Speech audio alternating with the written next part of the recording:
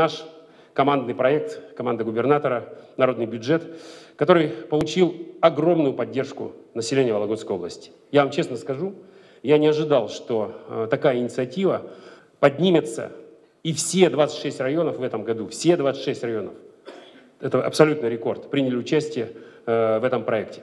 Количество поступивших заявок бьет все рекорды.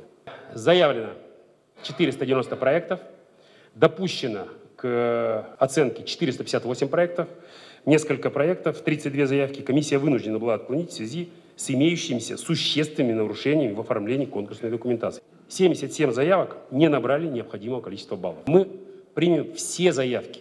Я поддержу все инициативы. Поэтому сегодня я принимаю решение увеличить объем средств, направляемых в народный бюджет, на 10 миллионов. Теперь будет 60 миллионов рублей правительства, 60 миллионов рублей средства граждан, бизнесменов, муниципальных образований. Итого э, абсолютный рекорд 120 миллионов рублей проекта 2018 года. Благодарим, Олег Александрович, и вас, и правительство, что было принято это решение, когда в зимний период мы подаем заявки, да, проходим все процедуры, а потом уже спокойно в весенний-летний период мы сможем все проекты реализовать уже воплотить в жизнь. И я считаю, самое главное, важное для подрастающего поколения – это воспитание через проекты бережного отношения к народному добру. Потому что когда дети вместе с родителями вложили средства, пришли сами на эту детскую площадку, красили заборчик, садили деревья, конечно же, этих э, всеразличных вандальных прецедентов будет намного меньше.